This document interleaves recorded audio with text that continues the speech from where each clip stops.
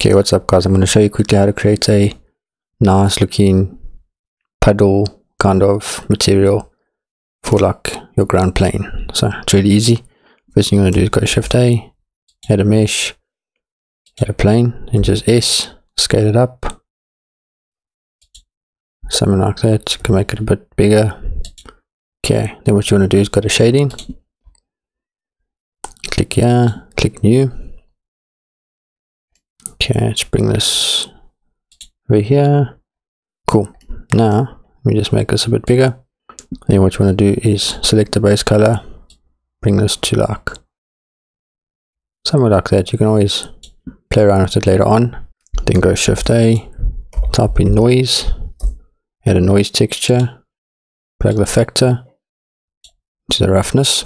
Then go Shift A again, type color, bring in a color ramp plug that in there.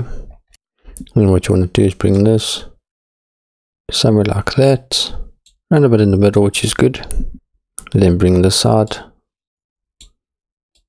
to somewhere like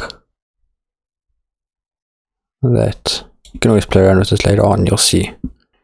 Then bring this down go shift a type bump plug the normal into the normal. Okay. Then bring in another color ramp so shift a. Plug the color into the height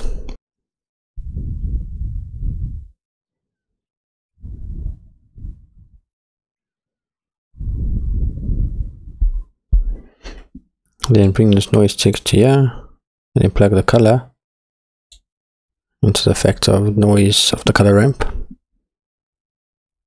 now you can see we're starting to get something. Okay and in the same year what you want to do is bring this something like this and this one. Something like that. You can see it looks funny for now. So let's just change this to here and then just bring this.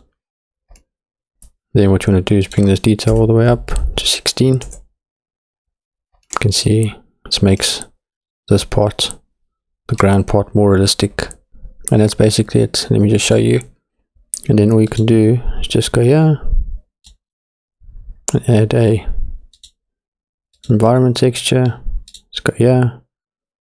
All I want to do is just bring in one of mine. You can see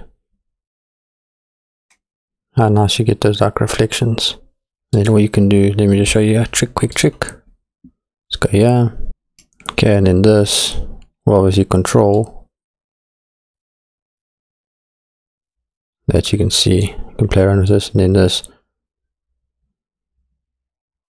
give you more so you can always just adjust this. Same with this. This creates more of this. Less. And then this. You can see. Just play around with it until you find something that you like. Okay. Really easy. Really simple